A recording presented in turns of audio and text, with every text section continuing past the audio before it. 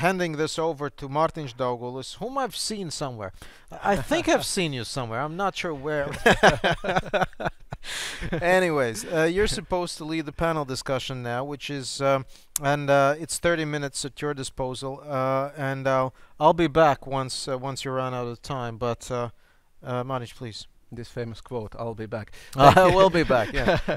thank you, thank you, Eddie, very much. Uh, we are taking over this wonderful baseline of uh, disinformation was given in the previous talk, and uh, we are taking this over with a panel discussion on disinformation and overcoming it in the first, 21st century with all its challenges that we have today. And I'm absolutely happy to have here in the studio um, Elina Lange Ionatamišvili uh, from the, the senior expert NATO Strate Strategic Communication Center of Excellence. Hello. Hello.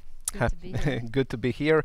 And Mr. Janis Rungulis, Strategic Communications European External Action Service. Janis, uh, do you hear us and happy to see you? Yes, I can hear you. Thank you. Thank you. The first question is you heard the previous discussion, and uh, from your perspective, because you are strategic communicators and experts and analyzers of this stuff, why we should be careful when we speak about disinformation and from your perspective what characterizes this information what is it really from scientific perspective? That would be the question. Elena, we're going to start with you. Okay thank you martin um, so I think uh, the first uh, nuance that probably we have to address is the difference between disinformation and misinformation uh, which often we don't actually pay attention to when we use the language on a daily basis. But there is a very big difference because misinformation uh, is about somebody spreading incorrect or false information without a malicious intent. So without realizing it and without actually uh, intending to do any harm. So easy to remember, misinformation, the word mistake, so genuine mistake. Uh, then we have disinformation, uh, which has a malicious intent uh, behind it. Uh, so the um, and this is the problem because uh, actually maybe the the kind of the other part of the word uh, information is a little bit misleading because we think oh so we just spread some information and you know who cares uh, no harm done. But the the point is that with this malicious intent, you know, to inform is to influence, and that's the whole point. We want to influence those. I mean, not we, but those who spread disinformation. They want to influence people's behavior. So this disinformation is oriented towards, you know, either making somebody vote in a certain way in an election, or quite the opposite, not to vote, uh, or actually, you know, uh, wear face masks uh, during COVID pandemic, or not wear face masks. So uh, it's all about influencing other people's behavior and this is what can become danger not just to particular individuals who fall for it but for the entire society or for national security so i would say this is the the, the main difference and characteristic Okay, uh, taking over that uh, from European External Action Service perspective, what is the frame, the framework, how you see this information and what's behind that? Uh, Martin, uh, before I jump in there, uh, can I ask you to be my eyes for, for 10 seconds and tell me what, I mean, how, I mean, what is the audience? What they look like? I want to know to whom I'm talking to. You are talking to wonderful people who are watching us online. So the icebreakers are online and there are hundreds of people watching us at this particular moment, students, also university staff, all interested persons. And here on the place we have wonderful technicians couple cameras, screens, and all good people, all good crowd. Thank you. Thank you for giving me this view of what's happening there. so uh, let me give you a view from, uh, I mean, I would actually make a broader view and like uh, I would like to make it a bit more personal about this information. So uh, first, uh, Elina, Elina gave really good overview of definition. I think there's nothing much to add on this. Yes, there is mis and disinformation and and what my team is doing, I mean, we I am working in the team, this EUvsDisinfo. We have website and and uh, we have database. So we look on this disinformation, especially from pro-Kremlin sources. But now I'll take a, bit, a small step back and I will tell you how I see this information. Um, so uh, my background is uh, is in advertising and and public relations and communication in general. And when I joined uh, this team, I suddenly realized that actually what we're dealing with is we're dealing with largely with information campaigns. So we're dealing with information campaigns uh, being carried out from my team's perspective, from pro-Kremlin, from pro-Kremlin media, and targeting us. And and uh, when it comes to the problems of it, why it's problematic and how to address this, uh, first point is, I mean, it's about democracy. So uh, democracies, as we know them, they function on uh, debate. So we have to be able to talk about things, the hard things in in uh, difficult topics in societies, and agree how to deal with them. And this is has to be part of because this is what societies are for. But the problem is, if you have external external actor like uh, like external country who comes in and and uh, and tries to influence these these discussions. And actually they would try to divide societies and spread fear in them. That becomes a big problem. So uh, i think that that's the next question we'll discuss. Basically i think we if we also need to address them as as uh, information campaigns targeting us. So but i think that's next right yeah, absolutely right. The question is, uh, if we have this baseline, then, uh, well, debate is deformed, so democracy is under the threat. The question is how to get this debate, the truth, back on track in this age when information is so fragmented and so intense. Elina. Yeah, I think, well, continuing uh, Jānis' thought about uh, democracy, I mean, the cornerstone of a democracy is uh, fair and free election, right? And I think this uh, disinformation is trying to target uh, all aspects of elections. So we should not be uh, paying attention only to the public debate that is happening, because that is the kind of obvious part. We see what is being said, written, posted on social media. Uh, but I think it's also about trying to target election as a process.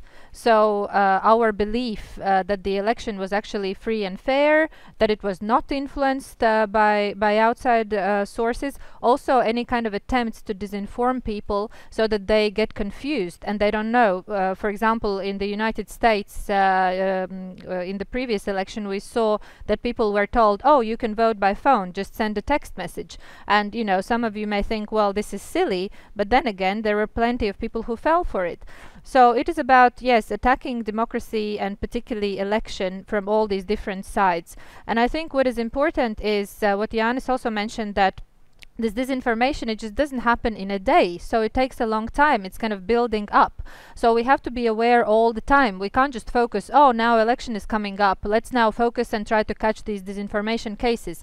Disinformation doesn't work if there is not already enough base in the mm. society ena en enough uh, breakage of trust or doubt uh, or dissatisfaction. So this is how it works that it's being built up gradually. And this is a problem that governments still haven't solved and i'm turning turning to you, uh, dear young innovators.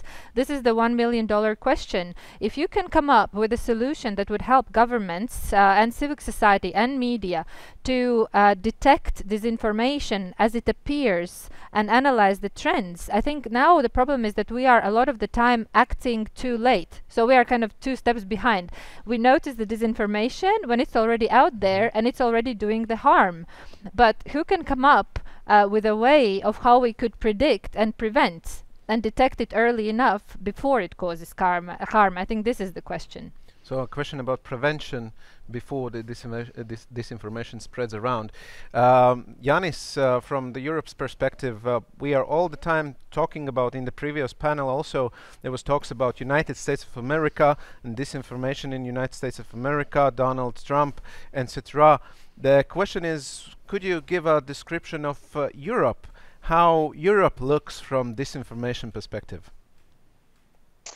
Well, uh, as I told you, uh, my team specializes in uh, in pro-Kremlin disinformation. So what we do, uh, we actually monitor, um, we're monitoring disinformation in uh, 17 languages. So across the EU languages and also broader broader perspective, Western Balkans, Eastern Partnership, some more. So I can I can what I can tell you briefly is how I mean uh, how EU looks, I mean how Europe looks from from disinformation perspective.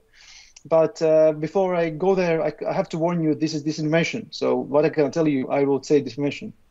But first, it's so uh, briefly. So uh, disinformation as a communication campaign, it's actually is is similar to the campaigns that that banks run or mobile operators run. From the perspective that has audiences, it has messages, and it has channels how we reach how, how it reaches people. So what's important is that uh, disinformation campaigns are also uh, systematic. So and they're repetitive, as they all the good communication is. It repeats itself.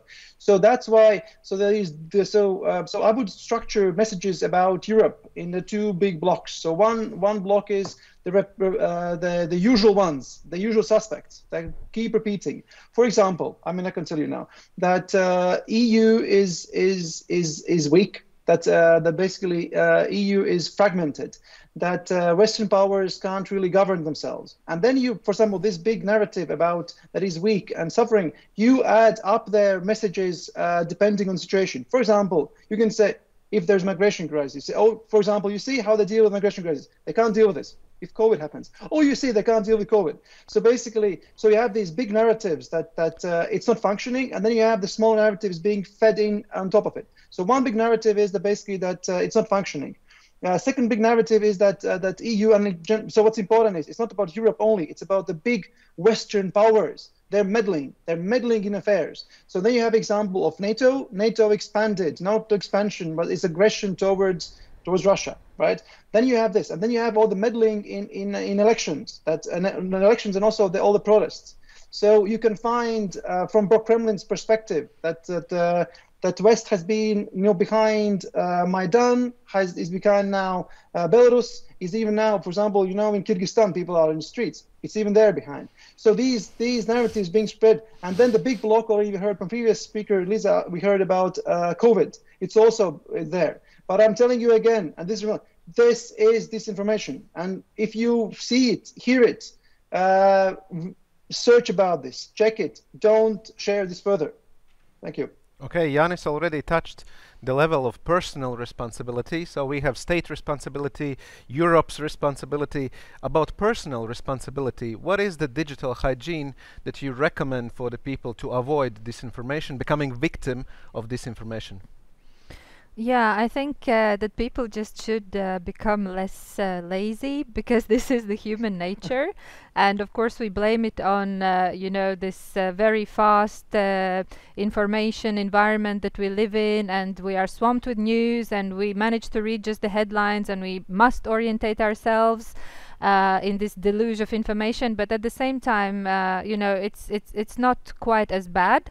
And I, I, I strongly believe that we still all have time uh, to actually check the sources and do all this ABC that has been talked about a lot uh, in the past uh, couple of years. So I won't repeat that. But um, I will uh, maybe point out uh, another issue which, I, which, is also linked to uh, human nature. So now this uh, legacy or, or, traditional media is uh, largely replaced by social networks.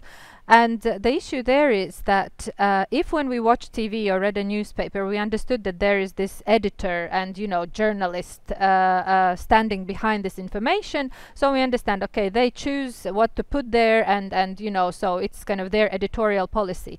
On the social networks, such as, you know, uh, whatever, Facebook, I understand that's old school network, but I'm still there. so let's take Facebook, for example. So there, it is about peer-to-peer -peer trust. So I assume that, you know, these are my closest people, my friends, my family, so they are telling me this.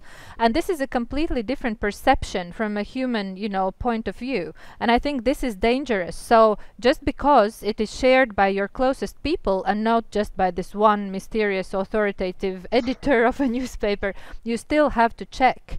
So it's about overcoming your, you know, laziness basically and just checking Okay, uh, Janis, what's what's uh, your opinion on instruments to get away from disinformation in everyday life?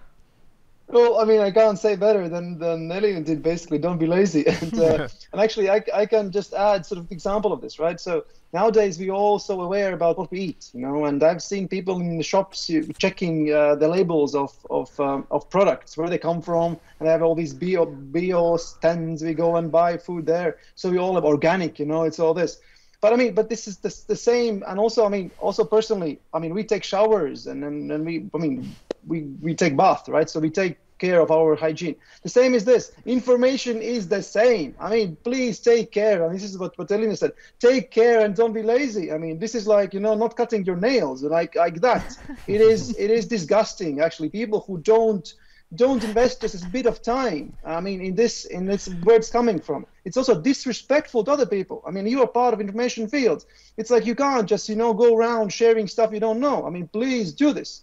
And there's one rule of thumb I can just, just, just tell you. So this information actually works on our emotions and it's find often finds the darkest of them you know like the fears you know and all those things. So one of rule rule of thumb would be this. If sometimes you see suddenly something on your social media feeds either it's the old one like facebook or the new ones trendy ones and it, it grabs you you know and like have this strong emotional feedback loop. You want to like do something like this. Like take a pause really. Just just relax take a pause and think about this. So because it might be actually targeted towards you and it's targeted towards emotions. So don't do stupid mistakes. You know, like don't get in a, in a fight in the bar. Think before you do this. So that's my recommendation. Think twice, yes, and don't be lazy. okay, we have it means two solutions: don't be lazy and and think. Uh, if I'm well deciding to think and not to be lazy, starting from tomorrow, because today it's afternoon already, I'm gonna start tomorrow. So, what would be what's what's your routine? What's your routine when you are at the morning time, uh, morning coffee, opening up the social media? What's your routine? Not to becoming a part of this information, Elina. Yeah, actually, um, I've had certain uh, cases, uh, just as I described a minute ago, where uh, I have uh, people who are very well educated, uh, you know, work in uh, media or government institutions, and they've actually shared this information unwillingly because they've picked it up from their peers. And, you know, it's very easy to fall for it. so usually, exactly as Jan said, if this seems a bit you know sensational or uh, appealing to something so encouraging for an action or decision uh, on my part uh, or me taking sides uh, I always uh, try to search for it to see who's actually written about it who else has published about it and uh, at the end of the day I try to go to the original source that is being talked about. So a very good lesson I learned, for example, uh, about uh, President Donald Trump uh, so for example, uh, it became extremely popular to distribute these, you know, one minute or two minute uh, videos about his press conferences with other foreign leaders, uh, where to be honest, uh, he looked just awful, like a crazy person. And I was thinking, hmm, this is really sad. But then I learned to actually you know, find the time and actually sit and watch all 40 minutes. And what I discovered was that, in fact, you know, all of us probably if you cut up my you know interventions here you could also make me look like a crazy person. Uh, but you know that was the point that you know of course he maybe made some eccentric move or something but the point is that if you cut all that in two minute video you know you really give a completely wrong impression or different impression about what was going on. And if you watch the full 40 minutes it's actually fine because these little moments are distributed across 40 minutes and a lot of them are actually in a context. So this is important to go to the original source and actually look and make your own judgment and not just fall for some impression that somebody else is trying to create for you. Which means investing your time. Time, yes, precisely. Yeah. Uh, Janis, uh, could you share your personal routines of uh, of uh, everyday work with information on the very personal level? Uh, well, I mean, so one one thing I do, and I think most of us do, I try to consume sort of different different sources of media, and I try to then sort of because I mean, as we know, uh, media. So also the best media and uh, and the independent media so uh, they they all journalists are humans. They come from a place. So I always try to put that in perspective. So and and see how basically what the interpretation of those things are. So that that's always helps me. And if and actually if I uh, look at some event from different perspectives, it's always you know you always try to to, to find the balance between those views to to take to define your own opinion and where you stand on this. But I wanted if it's about tips and routines, I want to share uh, one tip uh, for for those of us who want to quickly find basically to check if this is disinformation or not or on for for example on social media. So uh, i do two things. So so for as, as elina told you so uh, people uh, don't become experts you know uh, out of nowhere. So in other words if there's somebody who's sharing information about economics COVID, uh, future, past, 5G. They can't know all this, right? And how would you know this? People specialize years in these topics to be able to be experts. So the, it means these people actually take information from somewhere. So the question is from where? And this is, and they often what they do, they often uh, take this and they translate this from other languages, and they sort of merge different topics and add their own things, and then they post it as, as this this interesting interesting in, uh, post. So what I do, I mean, to find out where it comes from, I go for the for the numbers and for the lists of names. For example, so if if the if for example if there's an argument that um, that I mean this old story that uh, Latvia uh, was better off during Soviet times, and they often use some kind of numbers, millions, billions of rubles. You know what Latvia gained or lost. So I would take these billions of rubles, you know, and and actually search for that in Russian this could actually bring me to the to the to the article. Also, what I do is lists. So sometimes uh, in these posts you say uh, they, they, say, yeah, this expert, that expert, and basically and they give a name of some some random other experts. But that list, they would not change the sequence of them. So you just take the list, uh, transfer this, to, for example, Cyrillic, and do the search. And the images, uh, often people are lazy uh, the and so they would use the same image of that. So I would uh, sort of this is my tip basically. If you want to have quick uh, quick thing to understand where this guy or this when this person where they get information from, go for numbers and lists. Those actually will take you to the to the source and use Google. Ah, it's an amazing tool we'll have. Use Google, amazing tool. Uh, we are living in democracy, and uh, and uh, we have also wonderful rights to put the pressure on decision makers and ask for decision makers to do kind of actions. Uh, what is, considering this information, the thing we should ask from the state and what decision makers should be concerned about? Elina. Yeah, I think uh, this is another point where we have to overcome our laziness is that we have to be involved in this debate uh, and actually come up with these, you know, suggestions or demands uh, on how the state could handle it. But I think that um, really it is about the fine line that we are walking between the, you know, limiting freedom of speech uh, and, you know, uh, making our information environment safe. Uh, and you know this again is another one million dollar question uh, you know where this fine line is. Because we may refer to such concepts as you know uh, hate speech uh, inciting violence or hatred towards certain groups you may say, oh, but that's very clear, you know. So if this disinformation uh, uh, is, you know, kind of related to hate speech, we just block it, we just persecute people. But it's not so easy, because uh, all these, uh, you know, notions, these concepts, they are quite fuzzy, I would say, and uh, you know, uh, it is widely recognized that this is the case, and this is why it's so difficult, and this is why this is the area that is, you know, being abused constantly.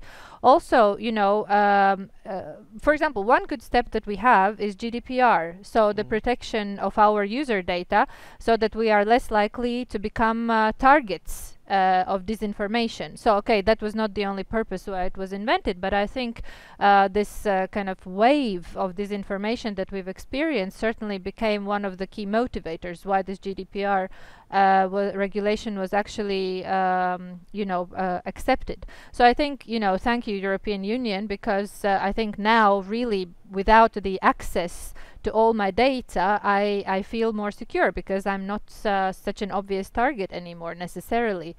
Um, so yeah, I, I think you know there is no magic bullet, and I and I will repeat that there is this very fine line that we have to walk between you know limiting freedom of speech and actually securing our information space.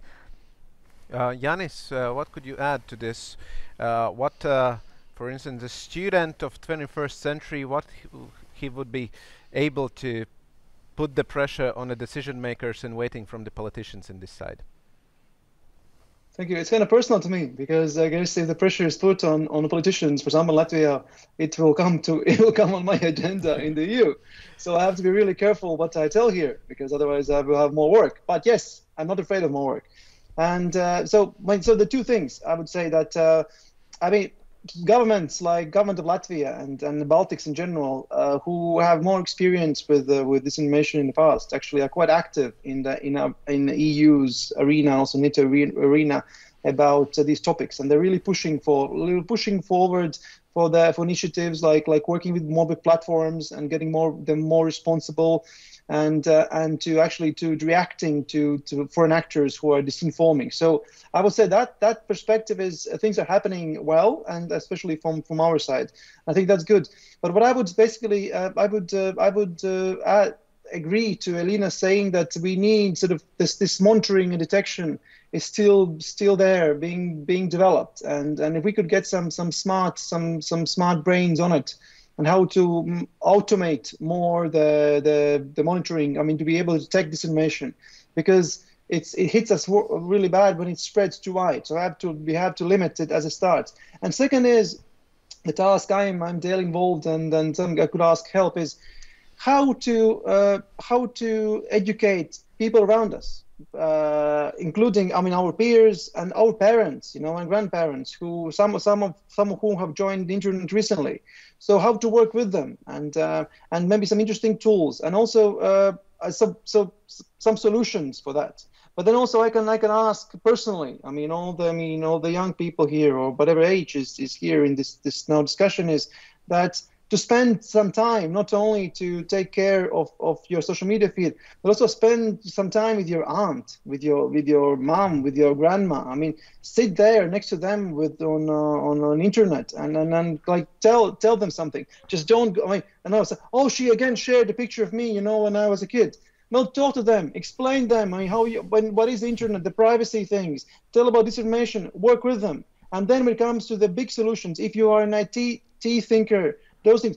Think i mean also uh, eu eu is offering also support to these uh, these projects. We have this uh, well i'm not gonna i'm not gonna go do advertising for the eu but the point is uh, we need new thinking in detection and we need your help your human help with dealing with people around you Wonderful. Thank you, Janis. You opened up, in fact, the final remarks uh, I want to discuss here, which is uh, what we can do extra if we, we feel comfortable in information era and we can identify and recognize this information. Janis already told, speak with your aunt. Uh, but what's, what's extra moves you can do to make the society better?